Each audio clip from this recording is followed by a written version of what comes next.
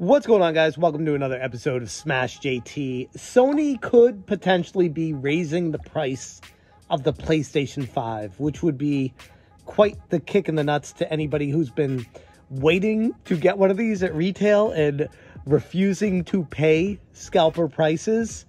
Sony had announced during their conference call on Friday that they may need to look into certain things and that they're not sure and not ready to announce anything quite yet regarding a price increase on the PlayStation 5. However, those of you who have been living on planet Earth have probably noticed the pandemic, the chip shortage, inflation, uh, chip prices are expected to increase between somewhere like 10 to 15% in the next calendar year alone. So the margins are not increasing, they're decreasing. And combine that with the fact that the PlayStation 5 is not making Sony as much money as the PS4 did, we got some problems. First time on the channel, subscribe, bell for notifications, hit the like button, all that fun stuff. I appreciate you guys. I genuinely do.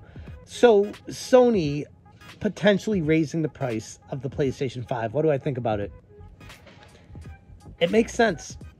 It kind of does. And and the reason why I'm on the side of raising the price for it was I honestly felt $500 when it released was too cheap. Especially if you consider the technology that was being packed into it. I think they were going for the angle of razor thin margins, competing head to head with Microsoft, and focusing so much on just making sure that their product had a chance to be successful but now we're at the point where the product's out, the games are coming out for it, and people still are demanding this thing to the point of paying more than retail for well over a year after release, and they still can't find it on store shelves. So the only way to combat that is to raise the price of it. Now, I know there's going to be a ton of people in the comments that are like, oh, no, no, you can't do that. You can't do that because XYZ, they set it at this price and it should stay that price and, and go down because that's how technology works. That's how sales works. That's how marketing works. That's how everything works in a capitalistic society. Under normal circumstances, yes, I'd agree with you. Problem is, we are far from normal. Look at car prices, for example. Um, the car, one of the cars we had, we had three cars. We had an old Mustang from 2005 5 with like 130,000 miles on it. And in good shape, it would be worth under normal circumstances like 2200 bucks, 2400 bucks. And I was talking to my wife about it a few years ago and we're like, "Why would we sell it? It's paid off. It works. There's no issues with it. It's nice to have a convertible in Southern California. So let's just hang on to it, whatever." Then the pandemic happened. And all of a sudden, that same car went from being worth like 2200 bucks in perfect shape, which by the way, it wasn't. It had dings and dents and scrapes all over it. It's 2005. It's it definitely looked its age. And I sold it during the pandemic for almost $6,000. Think about that for a second. A car that no way, no how had any business being worth that was worth that because of the demand of used cars went skyrocketing through the roof. So the reason why I bring that up is back to the technology debate and, and the value that you get out of the PlayStation 5. Is it worth it to you? For me, no. I've had it. I've made videos. Like it's still not worth it to me, but I got it day one, and I was excited to have it just to keep up with the Joneses and be able to have it, uh, and, and and and test out new technology during the pandemic. It was it was cool. It was awesome. Okay. $500 plus tax. Okay. It was worth it to me because I was getting it day 1. Now, fast forward to this point, is it worth $500 to me? Not really. I mean, to be honest. But I assume, with my history of gaming as my backdrop, that eventually a game will come out that I'll want on it, that I'm glad that I have the PlayStation 5 so that all I need to do is go and get the game instead of dealing with buying a console, setting it up, logging in, putting all the information into it, then getting the game, downloading the game, then being able to play. I just I just want to have it ready for when a game comes out because hell, I already have it.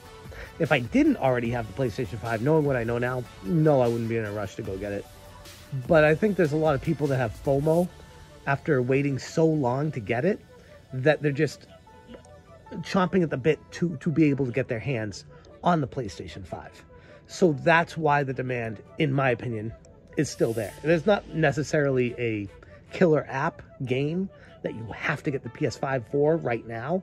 Yes, there's fun games, Ratchet and Clank, cool, okay. Not a killer app, not a system seller to me. Uh, the Spider-Man Miles Morales, again, a very good game, but also available on PS4. So, and the PS4 Pro, which the differences are negligible. They really are. Um, anyways, I'm, I'm going off on a tangent. Long story short, though, PS5 to me is currently not worth the the five hundred dollars. The reason why I bring that up is it doesn't matter what I think it's worth to me because the general public out there is willing to pay more than what the retail price is and has been for a very long time because as I said earlier, the build up in, in excitement and, and, and people just wanting to get be a part of the next generation of gaming. Gotcha. Pair that with the chip shortage and, and the consoles not being made in the amounts that they were previously back when the PS4 was coming out. It, it's limited the supply. The demand has only increased. Ergo, no one can get one of these things unless they are very fortunate or follow Jake Randall because he'll hook you up. Uh, it's very challenging to get a PlayStation 5. Even now, like we're getting close to what two years after release. It's it's getting crazy. Sony has not stated that they will be raising the price, but Sony has raised the price of electronics previously. So they have a track record of doing that with was it Blu-ray players, uh, headphones, uh, stuff like that. They've they've raised the prices in the past if they felt like the demand was there and it, it was justified. So it wouldn't be like a groundbreaking first time for them to ever do that type situation. Then you get the news that Meta announced that they're increasing the price of uh, the Oculus $100. I mean, the chip shortage is real. The the dilemma of the supply chain issues, the everything is is, is now starting to actually impact day-to-day life. So regarding the PlayStation 5 Sony potential price increase, Unfortunately, I do think it's going to happen. It's just a matter of time. They're missing out on free money from people by having it at $500 currently, USD. Um, I'm sure other countries, Canada especially, paying through the nose like they always do. God only knows what Brazil's like right now. All these other countries paying for it. But point being, it's a supply demand issue right now. And if they can only produce a certain amount of consoles, and those consoles are, let's be honest, guaranteed to sell no matter what the price is, as long as it's somewhere in the realm of affordability right now, it will sell. So it, it, to me, it's kind of silly to be leaving money on the table when you could be getting it. And yes, it's easy to say that from my position where I have a PlayStation 5, so I don't care if they raise the price. I, I, I think it sucks for the people that have been patiently waiting and not paying scalper prices and just wanting to get one of these at retail and willing to wait as long as it takes and under the full assumption based off of our prior history of living on this planet that the price will come down not go up if we wait longer. I get it. It sucks. But at the same time it's business. And they're in the business to make money. They're not in the business to be a charity. And if they have the ability and the potential to make way more money by charging an extra 100 bucks or hell, 150 more, I don't know. I say go for it.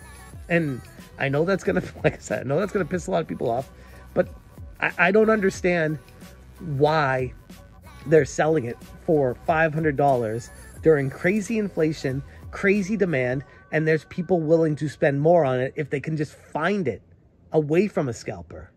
The the concern I'm sure other people are going to have now is if Sony raises the price of it, that means scalpers are going to be able to raise the price of it, and and it's a slippery slope and domino effect and yada yada yada all that. But I, I get that, but at the same time, it's going to limit the audience of demand further. So less people are going to overall try to buy it, meaning it will eventually calm the the buying and and selling via the the second hand market with all this stuff.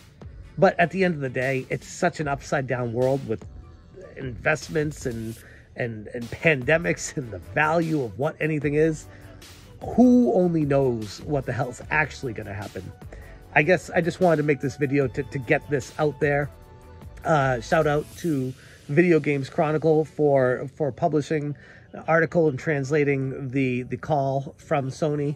Uh, really good information in that article. I'll link it in the description of this video as well. Be interested to hear what you guys have to say about Sony potentially increasing the price of the PlayStation 5. And not from uh, so much your perspective of, of, oh, that sucks for me, but more of, do you understand it? Or do you do you disagree with it fundamentally for for other reasons? Just I want to have a conversation, hear where you guys stand on this. I'm interested to hear about it. I'm going to leave it there. Thank you guys so much for watching. And as always, you stay smashing. All right, Austin. The raft has been duct taped together. Now give me your thoughts. Will it work? Will it float? Yes, come on, let's go. You think it will? Oh. All right, just jump on it. Just jump on it. You're going to fall through if you do it like that.